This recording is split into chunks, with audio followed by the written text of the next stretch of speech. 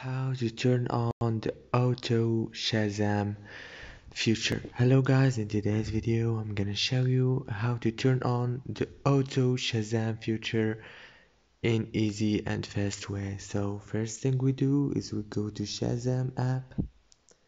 And now you go to uh, the library here. And then you go down. I'm sorry. You go here app on the corner click on this icon and then you go down to auto shazam as you can see here and you can enable it from here in easy and fast way. And yeah that's it for today's video guys.